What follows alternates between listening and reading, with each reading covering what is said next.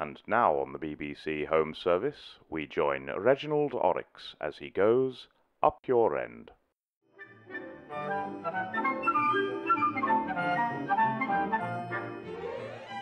Good evening, ladies and gentlemen.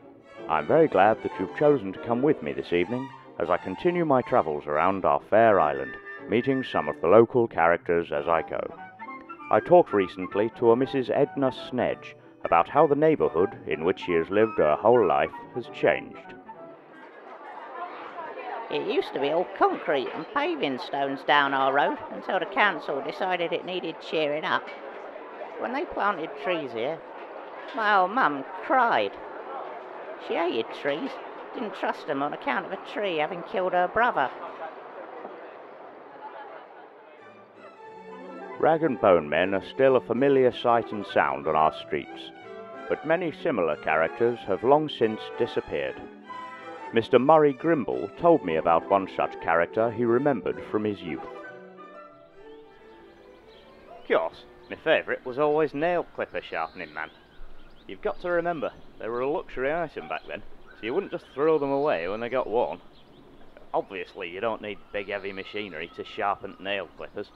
I remember him now, leading his Falabella pony down the road, pulling orange box on a roller skate. The pumice stone he used to grind the edges, and the little brazier made out of a tin cup that he used to temper the spring. And of course the call he gave as he went along. Clippers! Clippers! Clippers! Clippers! Clippers! One of the things that counteracts all that's wretched with aging is the acquisition of wisdom. Mrs. Gertrude Magnuson caught me in a bush in her garden, so I asked her about what she'd learned over the course of her life.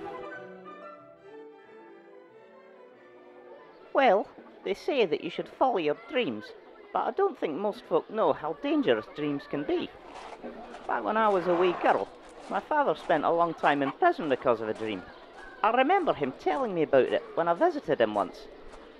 Apparently, that night he'd had a dream that he was eating a giant marshmallow, and uh, when he woke up, he was in a Blackpool B&B with a dead poor. Aye, terrible things, dreams. Old people really are dreadful, aren't they? Here's another one I had the misfortune of bumping into on the fens. When I were a lad, it had been about 40 years since they'd built all the steam pumps that drain the farmland round here. I remember old Sam, 80 or so he must have been at the time. Everyone who walked past, he'd grab him by the jacket, sweep his arm round, and say, Hey, I remember when all this wasn't fields. And he'd laugh like a hyena. He really was a tiresome old swat. We're nearly at the end of our programme today, but to fulfil my contractual obligations to the BBC, here's one more member of the mewling proletariat for you to listen to. This one adopts orphan children for a hobby. My last one, David, is blind. I went for a blind one because I think it's nice to give something back to the little disabled kiddies.